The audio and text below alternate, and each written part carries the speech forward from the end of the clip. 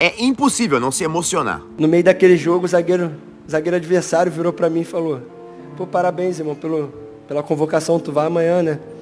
Eu falei: Vou sim.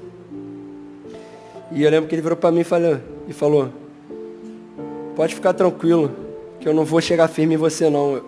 Eu lembro do que aconteceu lá dois anos atrás. E para tu ver como Deus ele cuida de nós. Eu, pô, nunca imaginar que um zagueiro adversário ia falar isso para mim. Mas Deus ele faz isso, ele coloca até o adversário para jogar ao nosso favor. Amém?